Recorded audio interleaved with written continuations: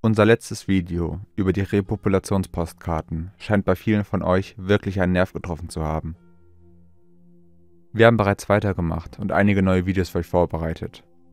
Aber als wir uns die Kommentare angesehen haben, entdeckten wir einige weitere sehr interessante Dinge über dieses Kaninchenloch, die im vorherigen Video nicht erwähnt wurden. Viele fingen an, tiefe Erinnerungen an die Vergangenheit zu haben. Kommentare, die erwähnen, dass ihre Großeltern Waisen waren Großeltern, die davon sprechen, dass sie aus einem Kohlfeld kamen. Sogar Geschichten, dass sie in Minen arbeiten mussten. Jedenfalls sehr interessante Kommentare. Ich empfehle euch, sie euch anzusehen und danke für jeden, der seine Gedanken geteilt hat. Es gab auch viele Kommentare, die sich mit der Legitimität dieser Fotos befassten. Woher wissen wir, dass diese Postkarten überhaupt echt sind? Doch, wie im ersten Video erwähnt, gibt es ein Buch zu diesem Thema. Babylon Surreal Babies. Und darüber hinaus werden wir in diesem Video weitere Beweise dafür sehen, dass dies tatsächlich das war, was sie in den frühen 1890er Jahren beworben haben. Es gab auch jemanden, der behauptet hat, wir hätten diese Postkarten aktiv mit Photoshop bearbeitet, was aber nicht weiter von der Wahrheit entfernt sein könnte. Dann sahen wir, dass in einem Kommentar ein Link und ein Titel gepostet wurde. Und das weckte mein Interesse. Es stellt sich heraus, dass dieses Kaninchenloch noch tiefer geht. Ja, sogar noch tiefer als die Tatsache, dass sie 1913 Babys legal verschickt und ausgeliefert haben. Und sie haben sogar Briefmarken auf die Kleidung der Kinder geklebt? Aber noch verrückter als das. Angeblich heißt der erste Spielfilm der Welt, der erste richtige Film überhaupt, La Fée Chou oder Die Cabbage Patch Fairy, die Kohlkopffee von 1896.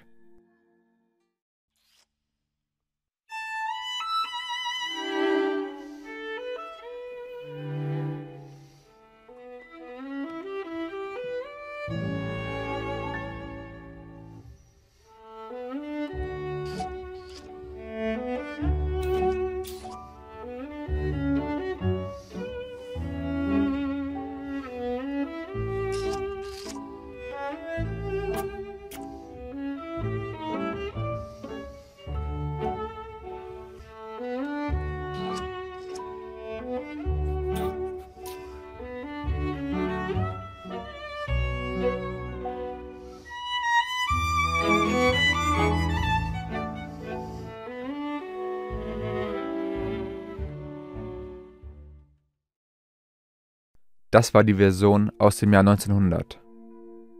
Abgesehen vom Thema der Kohlfelder und der Wiederbevölkerung ist dieser Film umstritten, weil die Regisseurin eine Frau namens Alice Guy war, die später Alice Guy Bluchet genannt wurde und die gruseligerweise genau wie die Frau auf den Postkarten aussieht.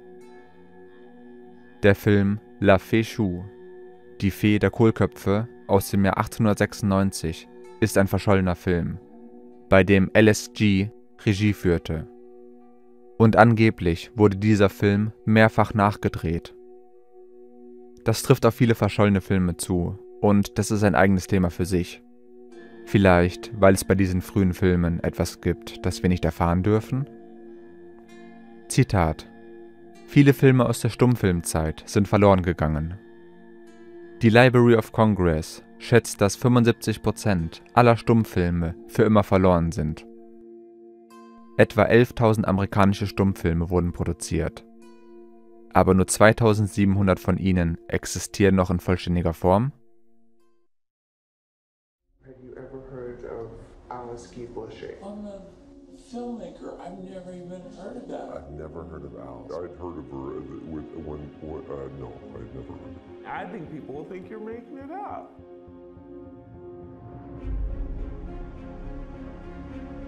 1895, the Lumières present the first public demonstration of their new invention, the cinematographe, the first reliable method to project motion pictures. Among those invited, a young secretary. She thought, why not use film to tell stories?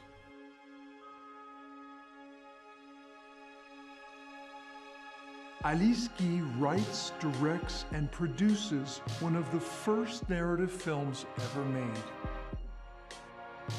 Alice is one of the first to utilize many film techniques, including close ups, hand tinted color, and synchronized sound.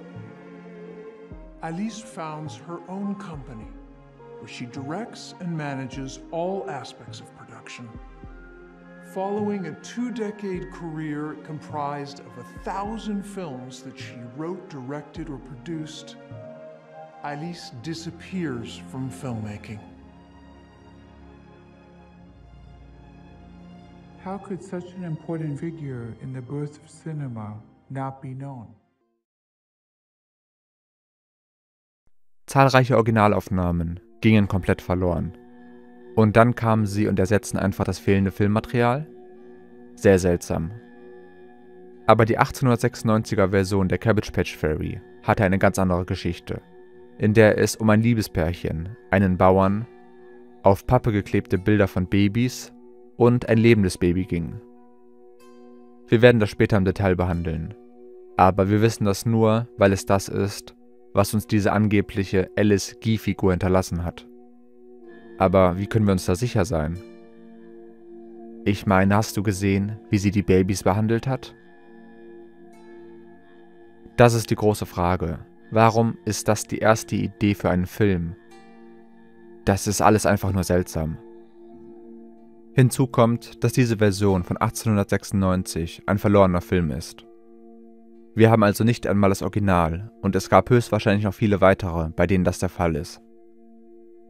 Aber dies ist wohl der erste Film, der je gedreht wurde. Danach dreht sie zwei Neuverfilmungen, die Version von 1900 und 1902. Der Grund, warum wir wissen, dass es einen früheren verlorenen Film gab, ist, dass der Regisseur Etienne Arnaud 1922 in seinen Memoiren schrieb, dass Alice Guy die, Zitat, erste war, die die Idee hatte, eine dramatische Szene vor der Kameralinse zu inszenieren. Zitat Ende. Die Kontroverse begann hier, weil er angeblich nach dem Mainstream-Narrativ den falschen Film genannt hat? Den Film, über den er sprach, bei dem Alice Guy Regie führte, war nicht The Cabbage Patch Fairy, sondern ein anderer Film, Les Méfaits d'Unte de Vous oder The Misadventures of the Calfhead, also die Missgeschicke des Kuhkopfes, Babykühe Was hat es mit all dem dunklen Humor der früheren Filme auf sich? Ich meine, es ist ziemlich unheimlich. Das sind die ersten Filme, die gemacht wurden? In diesem Film geht es um den Kopf eines Kuhbabys, der ein Metzger entkommt und sich dann irgendwie mit dem Metzger verbindet, um einen menschlichen Hybriden zu erzeugen? Wenn man nun nachschaut, wird man feststellen, dass ein anderer Regisseur namens Ferdinand Secker Regie geführt hat. Jetzt geht es noch tiefer, denn diese ersten Filme wurden von der ältesten französischen Filmgesellschaft der Welt produziert, der Gaumont Film Company oder der Society of Establishments. Die ersten Filme wurden also von Produktionsfirmen gemacht. Aber seltsamerweise beinhalten viele ihrer ersten Filme sehr makabere Themen und es stellt sich die Frage, ob irgendetwas davon mit LSG und den Cabbage Patch Kids zu tun hat. Also ich würde sagen ja. Denn warum sollten die ersten Filme den Verkauf von Babys fördern? Nun, der erste Cabbage Patch Fairy Film wurde 1896 speziell für die Pariser Weltausstellung und die Baby-Inkubatoren gedreht. Dieser Film ist der Beweis dafür, dass diese Babypostkarten echt sind. Als wir uns mit LSG beschäftigten, stießen wir auf eine sehr faszinierende Seite zu genau diesem Thema. Zunächst klickten wir einfach auf Google Bilder und suchten nach älteren Screenshots des Films. Dann stellte sich heraus, dass diese Seite von vor drei Jahren dies alles ebenfalls zusammenfügte. Sie unterstützt nicht unbedingt die Sache mit den Weisenzügen oder so, aber es ist eine riesige Sammlung dieser alten Postkarten und sie verbindet sie mit LSG. Dann hat sie sie auch noch übersetzt, also ein Lob an die Seite. Aber bevor wir weitermachen, wollte ich nur sicherstellen, dass wir alle auf derselben Seite sind, dass dies echte Postkarten sind und was sie sind. Zwei sind mir in dieser Sammlung besonders aufgefallen, weil sie deutlich machen, dass diese Postkarten ohne Frage mit Wiederbevölkerung zu tun haben. Auf dieser Abbildung sehen wir, dass Kohl und Rosensamen in ein Gerät gemischt werden, das dann massenhaft Babys hervorbringt, während die Frau im roten Kleid die Babys auffängt, die dann aus ihrem Kleid fallen. Und außerdem hält sie das Gewicht der Uhr in der Hand, was eine veränderte oder neue Zeit andeuten könnte? Es gibt noch eine weitere, frühe Illustration, die übersetzt Wiederbevölkerungstank oder Zentrum bedeutet. Und wir sehen eine riesige Frau, die im Kleid, die das Symbol für die Cabbage Patch Kids ist, die viele Kinder erzeugt, die in die Luft fliegen, während der Mann mit dem Zylinder anfängt zu pumpen, um die Operation zu unterstützen dann kann man sogar sehen, dass es Dienstmädchen gibt, die sich um die Kinder kümmern und dass neue Leute kommen, um die Babys nach Hause zu nehmen. Viele scheinen aber zu denken, dass diese Bilder irgendwie bearbeitet oder gefälscht sein könnten, in dem Sinne, dass sie in der heutigen Zeit entstanden sind. Nun, dann lasst uns doch noch ein paar mehr ansehen, die nicht im ersten Video zu sehen waren. Es sind so viele, dass es einem den Atem verschlägt.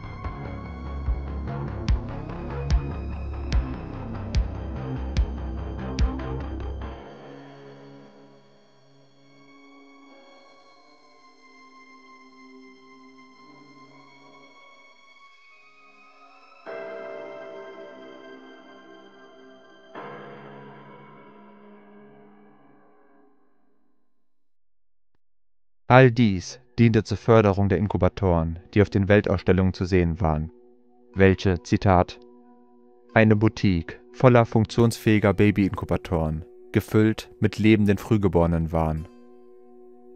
Aber warum Frühgeburten? Und warum wurden Plakate im Jugendstil gestaltet?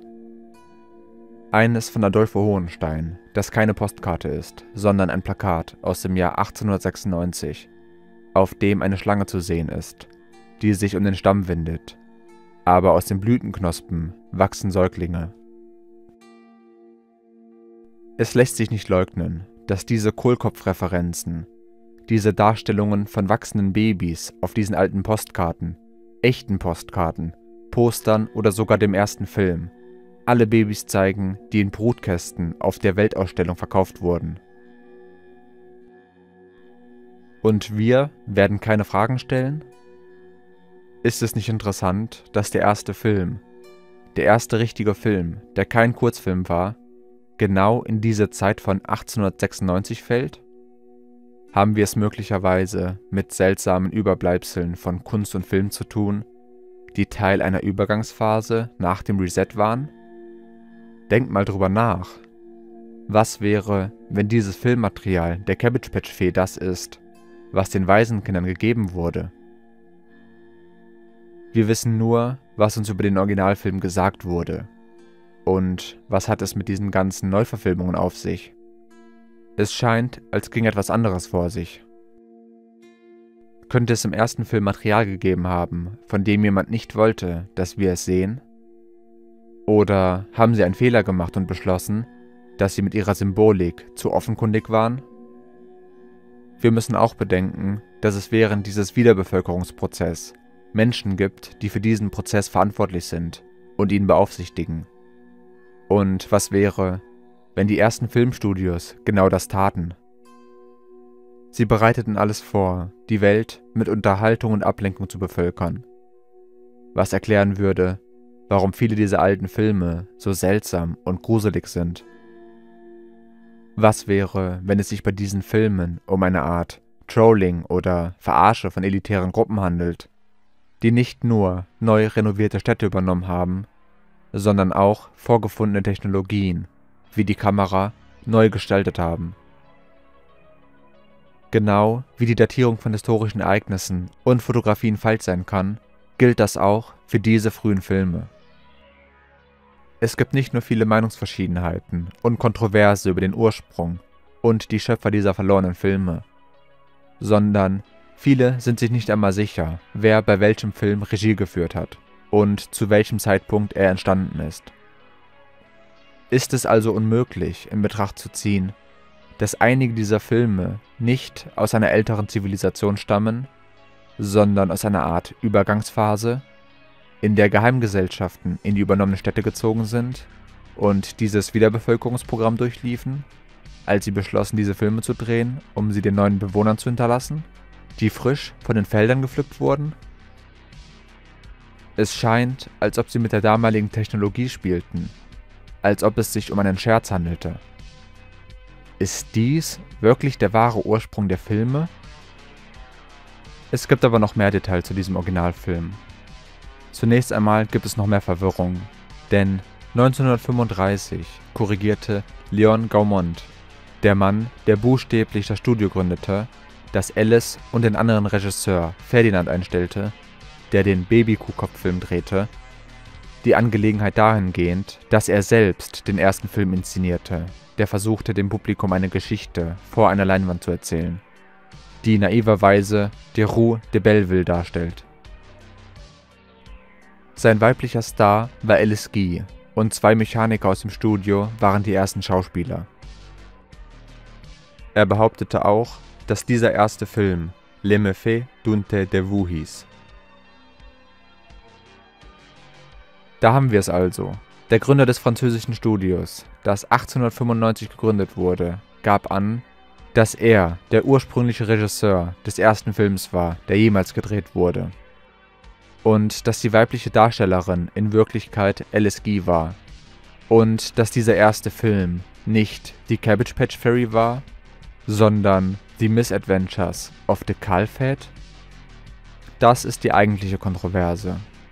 Sie wollen nicht, dass bekannt wird, dass der erste Film ein seltsamer, düsterer Film war, in dem ein Metzger ein Kälbchen den Kopf abschneidet und ihn als Gericht serviert. Ich habe auch überall nach dem Film gesucht, aber er scheint online nicht zu existieren. Seltsamerweise haben wir bei unserer Suche herausgefunden, dass es ein Kinderbuch mit dem Titel The Misadventures of Cowhead gibt. Vielleicht ist es unrelevant und nicht zusammenhängend. Aber es ist trotzdem seltsam, dass genau das bei der Suche nach dem übersetzten Filmtitel herauskam. Aus irgendeinem Grund wurde dieser Kuhkopf-Film aus dem Rampenlicht entfernt, sodass der erste Film dann die Cabbage Patch Fairy wurde. Und dass es im Laufe des Jahrhunderts genügend Beweise dafür gibt, dass es tatsächlich drei Versionen des Films gibt. Viele dieser neuen Informationen stammen jedoch aus einem Buch aus dem Jahr 1976 mit dem Titel Autobiografie eines Filmpioniers. Die verschiedenen Autoren diskutieren all diese Informationen darüber, wie ein Bericht von Leon Gaumont im Jahr 1907 begonnen und dann später im Jahr 1945 korrigiert wurde. Aber es scheint, dass dies nur irgendwelche Informationen sind, die im Jahr 1976 herauskamen, um die Geschichte dieses Themas zu verändern. Wie bereits erwähnt, stellte Gaumont ein Jahrzehnt zuvor, in 1935, klar, was der früheste Film war und dass Alice Guy die Schauspielerin darin war.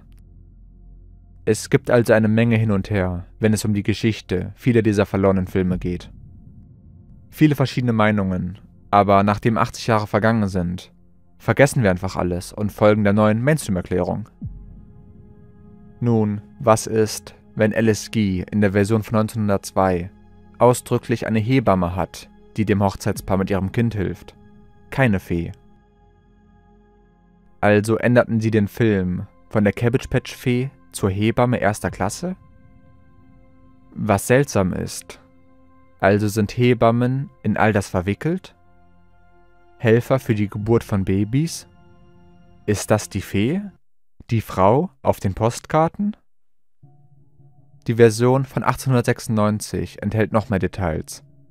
Sie beginnt mit einem frisch verheirateten Paar, das in den Flitterwochen durch die Felder spaziert und auf ein Kohlfeld stößt, auf dem ein Bauer arbeitet. Dieser erste Film war also viel fortschrittlicher, da er mehrere Szenen hatte. Der junge Mann fragt seine Frau, ob sie ein Baby möchte, also gehen sie durch das Feld und finden ein Baby aus Pappe. Aber sowohl er als auch seine Braut sind darüber enttäuscht. Dann hören sie ein Geräusch hinter einem weit entfernten Kohlkopf. Sie entdecken ein wunderschönes lebendes Baby, woraufhin sie den Bauern bezahlen und erfreut weggehen. Und der Bauer zuckt nur mit den Schultern und kehrt zu seinen Feldern zurück. Jetzt wird die Verwirrung noch größer, denn in diesem ursprünglichen Film gab es keine Fee. Und trotzdem nannte man ihn die 1896er Version von La Fée Chou? Oder ist das ein anderer Film? Warum ist er verloren gegangen? Warum sollte man 1896 überhaupt solch einen Film drehen, wenn man den Film gerade erst entdeckt hat? Es scheint eher eine Art Spiel mit okkultem Wissen zu sein, wie wir bei vielen dieser frühen Filme sehen. Alles, was wir haben, sind ihre Memoiren, von denen ich vermute, dass sie bearbeitet wurden. Aber in ihren Memoiren sagt sie ausdrücklich, dass ihr erster Film La Fée Chou hieß, was keinen Sinn ergibt. Sie geben die Ausrede, dass die Mutter ins Bild gesprungen ist, weil das Baby geschrien hat. Und das der Grund dafür ist, dass es im Originalfilm keine Fee gibt? Das ist zumindest, was sie uns sagen. Dass dieser Film wegen der französischen Legende gemacht wurde, dass Jungen aus Kohlköpfen und Mädchen aus Rosen kommen. Aber woher kommt diese Legende? Und warum wurde sie benutzt, um Brutkästen mit okkulter Symbolik zu bewerben? Warum geht es in diesem ersten Film um schreiende Babys in einem Kohlfeld und eine Frau, die sie aufhebt und mit wenig Sorgfalt auf den Boden legt? Zu den weiteren Widersprüchen bei diesen alten Filmen gehört die Aussage von Alice Guy in ihren Memoiren, dass, Zitat, auf dem Foto von La Fée Chou meine Freunde, Germaine, Yvonne und ich selbst zu sehen sind. und dass die Yvonne die Schauspielerin der Fee ist. Doch das Foto, auf das sie sich bezog, stammt nicht einmal aus diesem Film, sondern aus dem Film Sage Femme von 1902, was mich glauben lässt, dass es kein Zufall ist, dass es so viele Fehler gibt, sondern dass jemand kam und anfing, Informationen hinzuzufügen, die einfach nicht stimmen.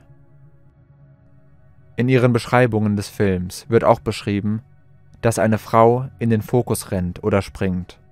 Doch weder in den Versionen von 1900 noch in der von 1902 rennt die Braut in ein Kohlfeld, was darauf hindeutet, dass die Version von 1896 auf einem größeren Filmformat gedreht wurde, zum Beispiel einem 58 mm Film, der eine breite Leinwand ermöglichte. Das würde dafür sprechen, dass es sich ursprünglich um einen viel größeren und längeren Film handelte und wir vielleicht nur die Fragmente haben. Ähnlich wie bei Metropolis. Der Film verdient sein eigenes Video, aber dasselbe ist auch bei diesem Film passiert. Sie hatten eine ältere Version und haben dann bestimmte Teile bearbeitet. Das merkt man sogar, wenn man es weiß und den Film noch einmal anschaut. Aber nochmal, was hat es mit dieser ganzen seltsamen okkulten Symbolik auf sich? Und auch mit diesen sehr fortschrittlichen visuellen Effekten?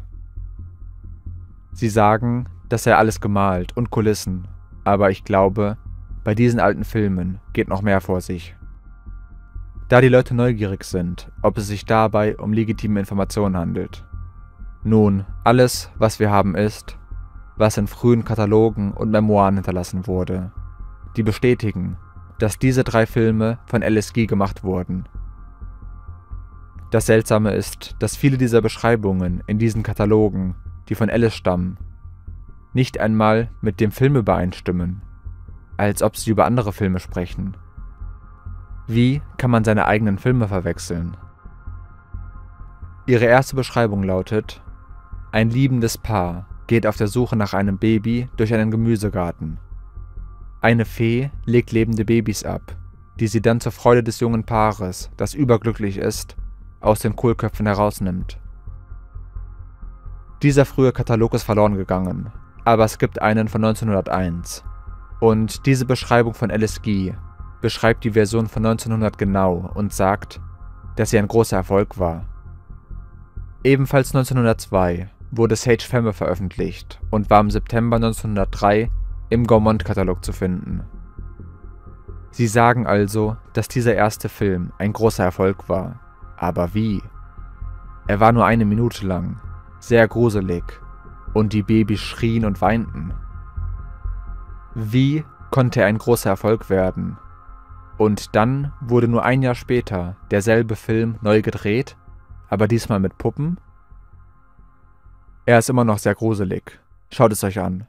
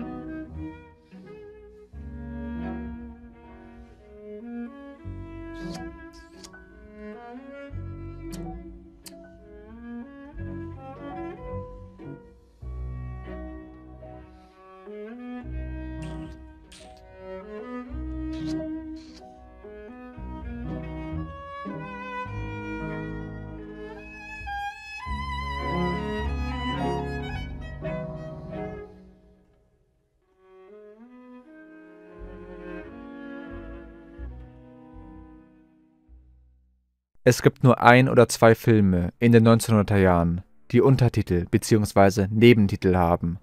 Und The Cabbage Patch Fairy ist einer davon. Der längere Name des Films ist eigentlich The Cabbage Patch Fairy and the Birth of Infants. Die Kohlkopffee und die Geburt von Kindern.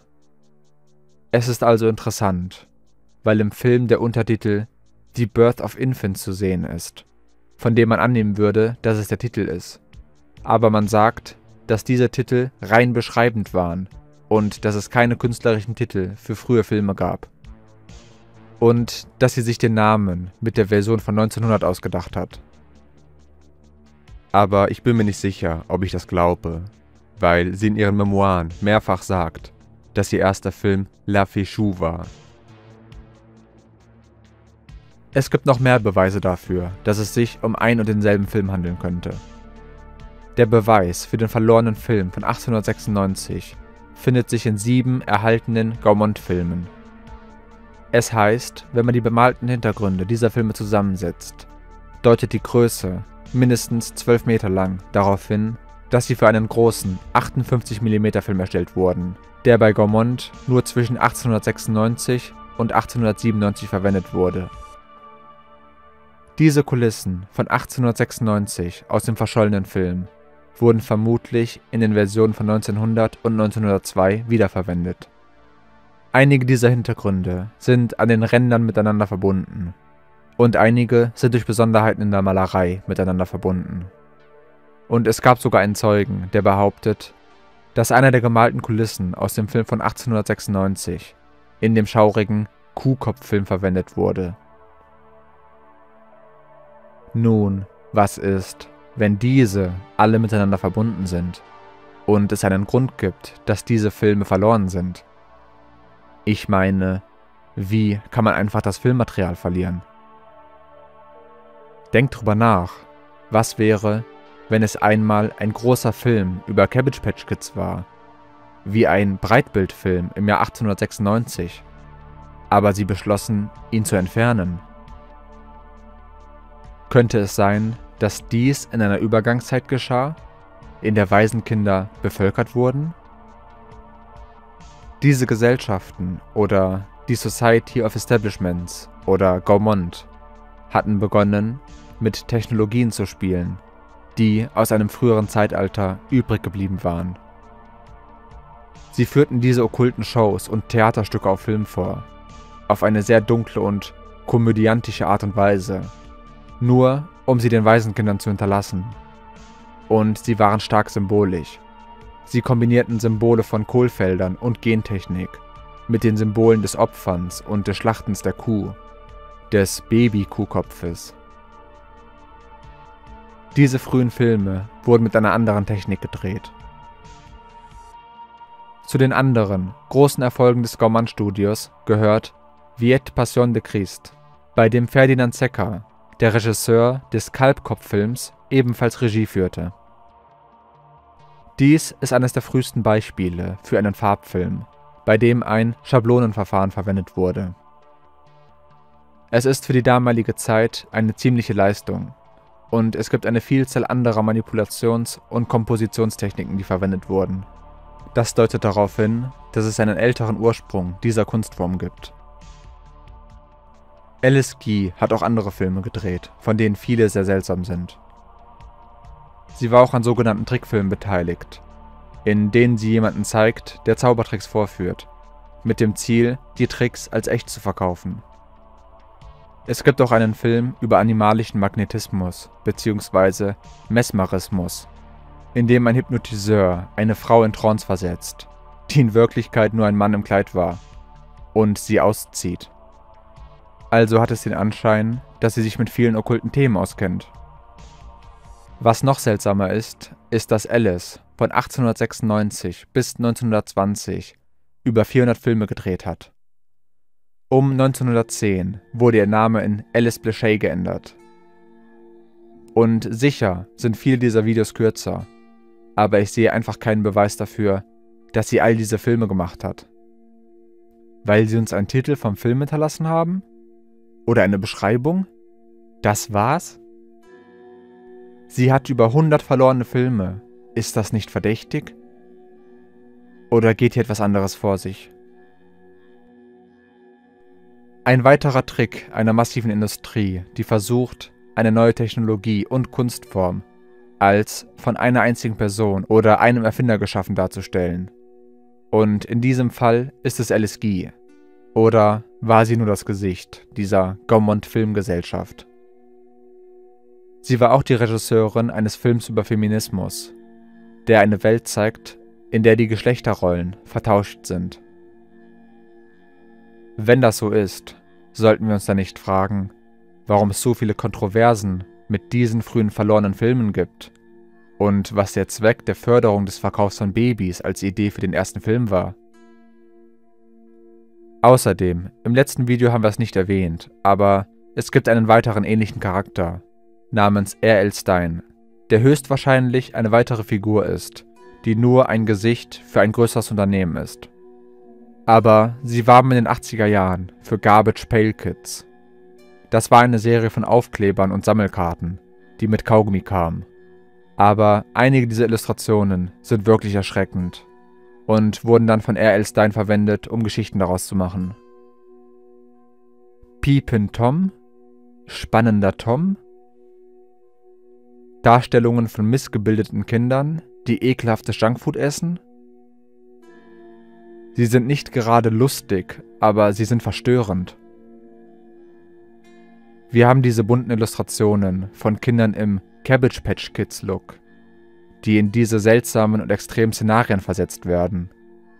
Ob sie nun fettleibig sind, unter schrecklichem Ausschlag leiden, von gesichtslosen Erwachsenen gequält und sogar von einem Autoreifen zerquetscht werden? Einige Kinder werden total verwahrlost dargestellt. Andere sind mit Blut und heraushängenden Organen abgebildet. Es scheint seltsam, dass die Minderjährigen solch grausame Inhalte vorsetzen. Und warum? Vor allem, wenn es sich um eine Anspielung auf die Cabbage Patch Kids handelt.